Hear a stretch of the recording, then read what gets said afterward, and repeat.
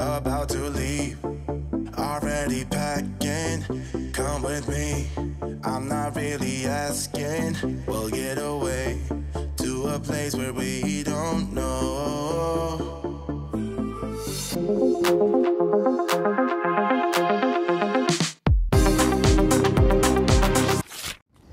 Continuar, eu quero fazer essa pausa para te informar uma coisa muito importante. Esse vídeo aqui é de um dos dias do roteiro que a gente fez no Jalapão. Para ver o roteiro completo, é só clicar aqui no card, que assim que o vídeo for ao ar, você vai conseguir vê-lo sem pausas. Lembrando que sempre tem viagem nova aqui no canal, então se inscrevam e ativem o sininho para todas as notificações, para não perder nenhuma aventura nova, tá? Hey, censuradas! Hoje embarcamos em mais uma aventura, dessa vez de cinco dias pelo Jalapão, aqui no estado do Tocantins, que é o estado mais novo do Brasil. Apesar de esse ser um dos melhores destinos de ecoturismo do Brasil, ele é pouco conhecido ainda, então a gente vai estar explorando com vocês. E o primeiro, a primeira atração que a gente vai visitar é a Pedra Furada. Dá pra ver um pouquinho daqui, mas a gente vai lá em cima para conferir tudo. Vamos lá!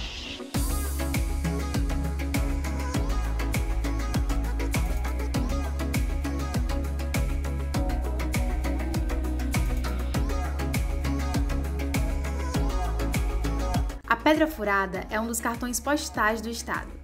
Ela possui blocos esculpidos pelos ventos há milhões de anos e que continuam em constante mudança.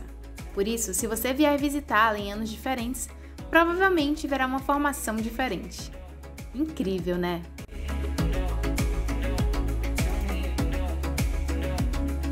Aqui você faz uma trilha leve de menos de 10 minutos até o topo. Nem precisa colocar tênis para isso. Chegando no mirante, dá para apreciar as belezas do cerrado e assistir ao melhor pôr do sol da região.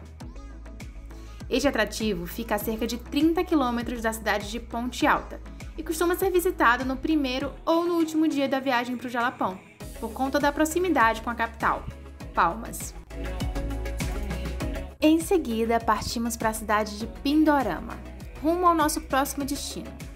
Mas antes, é hora de dar uma parada para o almoço, né?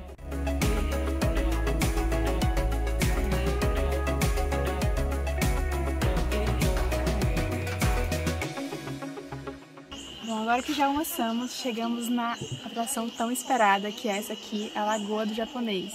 É um rio de águas cristalinas, como talvez vocês estejam vendo aí, e também tem esses decks para você ir. Tem uma gruta e aqui é meio fundo, então se você não souber nadar, ou você pega uma boia lá na frente, colete, ou então fica no rasinho. E também tem a opção de fazer tirolesa, só que aí é pago à parte. Aliás, aqui no passeio, no Jalapão, tem várias opções que são pagas à parte.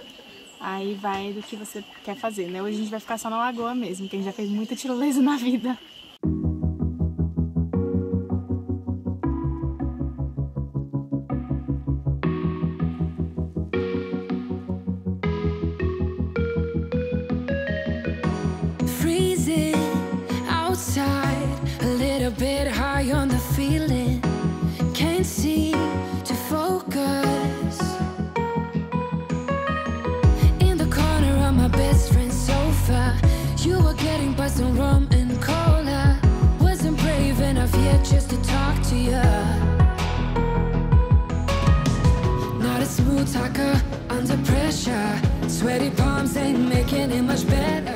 Este lugar é realmente impressionante. E quanto mais fomos nos aproximando da gruta, mais surpreendente a paisagem foi ficando.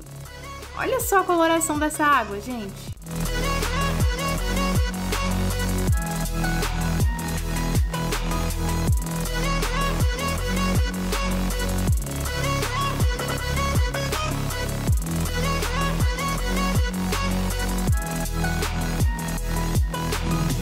Olha, a Lagoa do Japonês não pode ficar de fora do seu roteiro do Jalapão de jeito nenhum, hein? Nós adoramos. E como vocês podem ver, o passeio nos rendeu vários vídeos de recordação.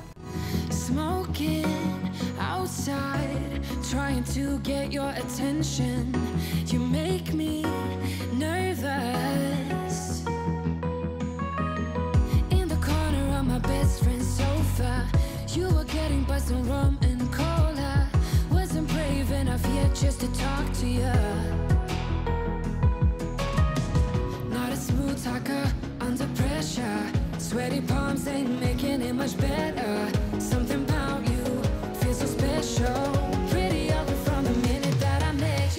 Uma dica essencial é vir com sapatos que você possa nadar, pois as pedras são muito pontiagudas e cortam com facilidade.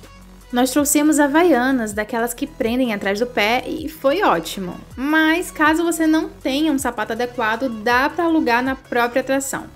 Se eu não me engano, eles custam 10 reais. Eu acho importante falar que os roteiros para o Jalapão são feitos com poucas atrações por dia, já que são mais de mil quilômetros de viagem por estradas muito complicadas.